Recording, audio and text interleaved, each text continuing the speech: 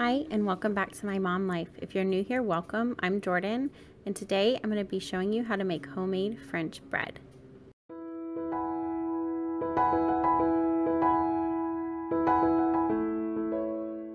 The ingredients you're going to need are half a cup of warm water, two tablespoons of yeast, three tablespoons of sugar, two and a half teaspoons of salt, a third cup of oil, you're going to need two cups of hot water, six and a half cups of flour, and one egg for brushing on the top of the French bread.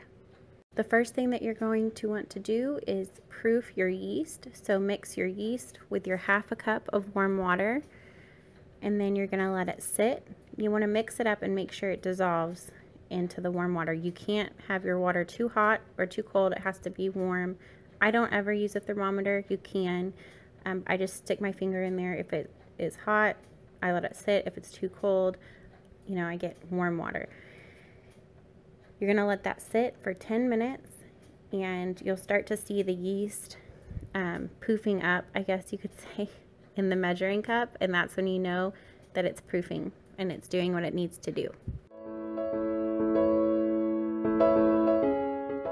The next step is to get a stand mixer out or you can use your hand mixer and you're going to add your hot water, sugar, salt, oil, um, and some flour into your bowl. You're not going to add all of your flour right now, just about half of it. You're going to mix it up a little bit and then you're going to put the yeast mixture in and then we'll add the rest of our flour.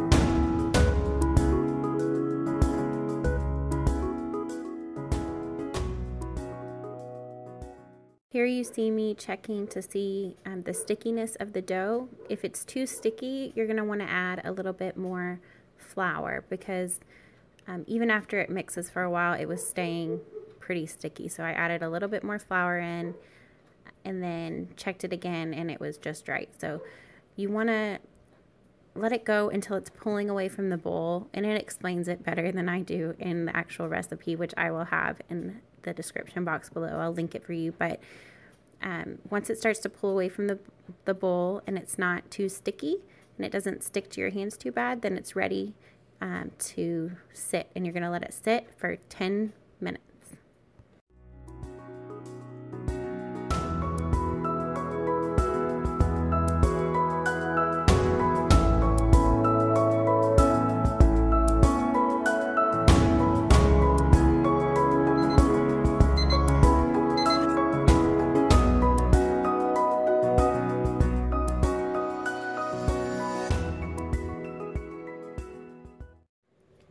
We're going to take the dough out of the bowl that it has been resting in and we're going to put it on a floured surface. My countertops are tiles so they're not the best for rolling dough out and things like that. So sometimes I'll do it on my table, sometimes I'll do it on a cutting board like you see me doing here. And um, you're going to be able to separate this dough into three different loaves. So I'm going to score this with my hand to try and make it into three um, equivalent sizes, so three different loaves, all about the same size.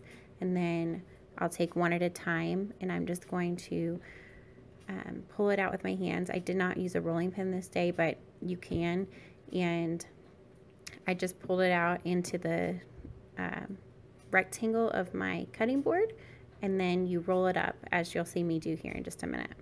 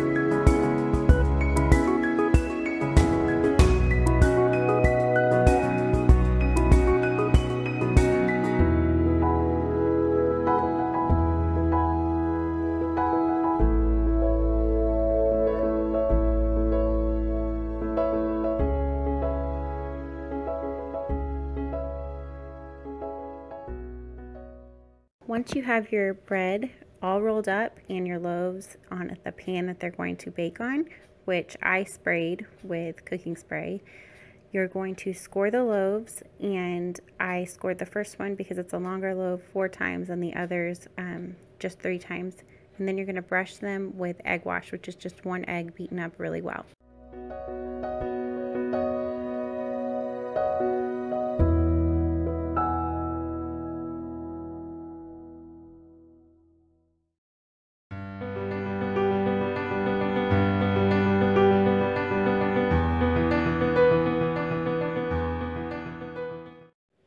Now we let the French bread loaves rise, and this is the last time we'll let them rise for 30 to 40 minutes. So I set my timer for 35 minutes, and that was the perfect amount of time.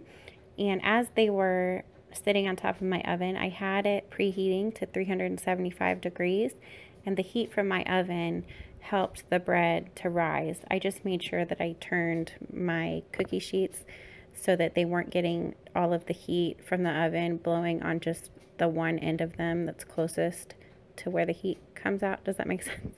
So I moved my cookie sheets around um, continuously through the 35 minutes.